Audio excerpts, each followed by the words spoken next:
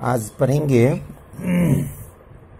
कोई positive charge particle uniform electric field में यदि मूव करेगा तो किस पाथ को फॉलो करेगा? When a positive charge particle moves in a uniform electric field एक इलेक्ट्रिक फ़ील्ड सेटअप लेते हैं। ये माइनस प्लेट है, ये प्लस प्लेट है। इसमें कोई positive charge particle plus q v velocity से इन करता है इनिशियल वेलोसिटी और जैसे ही इन करेगा तो उस पर क्या होगा? सबसे फ़र्स्ट ऑफ़ ऑल उस पर इलेक्ट्रिक फोर्स लगेगा। The electric force experienced by positive charge particle F equals to E Q हम लोग इलेक्ट्रोस्टैटिक्स में पढ़े हैं। F equals to E Q equation first अब इस पॉजिटिव चार्ज पार्टिकल पर एक्सलेशन, जो एक्सलेशन एक्ट होगा तो acceleration produce in the particle if positive charge particle has mass m, then acceleration e equals to f by m, and f equals to eq यहाँ place कर देंगे eq eq by m. Acceleration हो गया। अब इसमें दो तरह का मोशन हो रहा है। एक तो हॉरिजेंटल मोशन है। और ये पॉजिटिव चार्ज पार्टिकल है एक्सलेट हो रहा है और एट्रैक्ट हो रहा है निगेटिव प्लेट की तरफ़।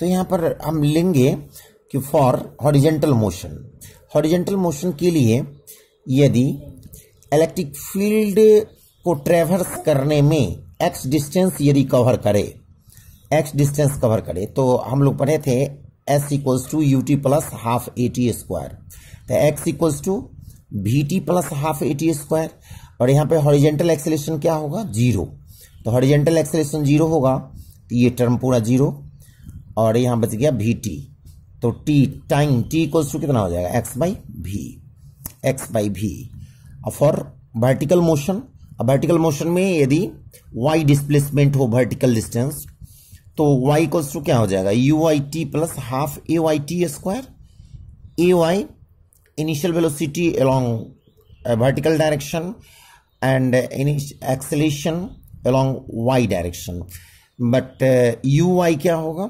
इनिशियल ज़ीरो है, इसलिए ये टर्म ज़ीरो हो जाएगा। तो यहाँ बच गया half A T square and equals to half A T square half A का वैल्यू हम पुट कर देंगे कहाँ से? इक्वेशन सेकेंड से एंड टी का वैल्यू थर्ड से। जब दोनों वैल्यू पुट करेंगे तो E Q by M into X by V का होल स्क्वायर फाइनली आएगा half E Q by M V square X square.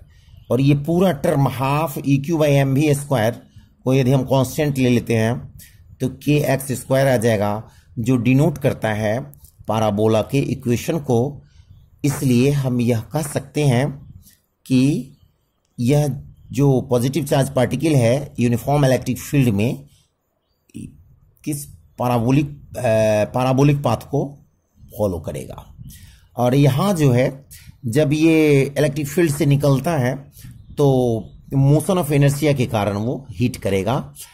जो यहाँ पे स्क्रीन के पॉइंट पी पर, ये स्क्रीन है, यहाँ पे स्क्रीन को हीट करेगा। तो ये हुआ कि कोई पॉजिटिव चार्ज पार्टिकल किसी इलेक्ट्रिक फ़ील्ड में जब मूव करे तो पाराबोलिक पाथ को फॉलो करेगा। Thank you